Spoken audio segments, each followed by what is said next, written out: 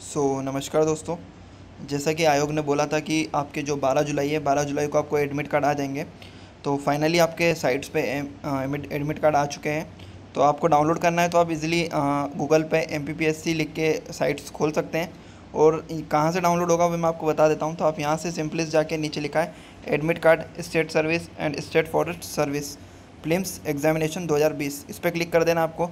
इस पर जैसे क्लिक करेंगे तो आपके सामने आपका कुछ इस प्रकार का इंटरफेस खुल जाएगा। तो आप यहाँ से आपका जो एमपीपीएससी का एडमिट कार्ड वो डाउनलोड कर सकते हैं। तो यहाँ पर आपका एप्लीकेशन नंबर डालना पड़ेगा। जब आपने फॉर्म भरा था उसकी डेट आपको एप्लीकेशन मिली होगी।